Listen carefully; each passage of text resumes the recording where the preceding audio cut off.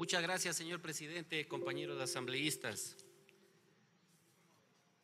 Servir a la gente, compañera asambleísta Valentina Centeno, significa también tomar en cuenta al sector agroproductivo, a nuestros pequeños agricultores. Ser solidarios con esta ley de la misma manera significa haber tomado en cuenta a este gran sector. Dentro de aquellas observaciones, hemos pedido no solo mi persona, sino muchos compañeros asambleístas que se tome en cuenta al sector agroproductivo, a nuestros pequeños agricultores y hemos solicitado de que se condonen sus deudas y sus remisiones y sus multas de hasta 10 mil dólares. Y es por eso que hoy solicito aquí a este pleno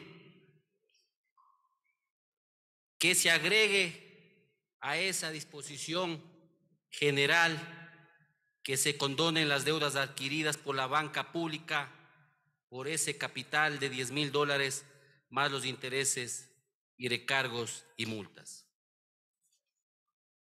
Compañeros asambleístas, el sector agroproductivo, el sector pesquero, los pequeños emprendedores no pueden ser tampoco olvidados y que se beneficien en esta ley.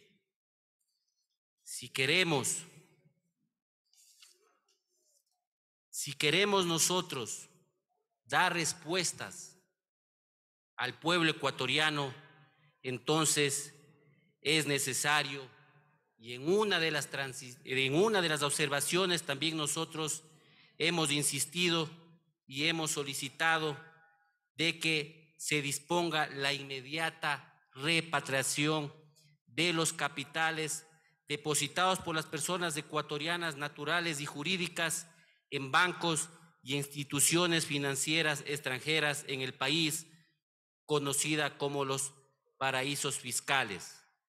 También hemos insistido, si queremos generar economía, si queremos generar una estabilidad, entonces la única manera también es de fortalecer la dolarización. Y para fortalecer esa dolarización, los dólares tienen que estar aquí en el país.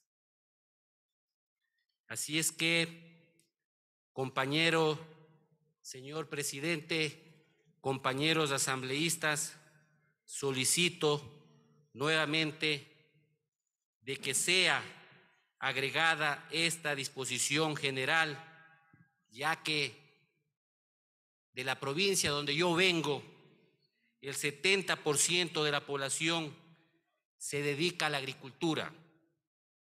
Y este año, por motivos de las inundaciones, por razones climáticas, nuestros agricultores han perdido sus cosechas y no tienen dinero ni para sobrevivir, peormente para pagar una deuda. Así es que, señor presidente, compañeros asambleístas, muchísimas gracias por darme esta oportunidad y espero que sea tomado en cuenta mi observación.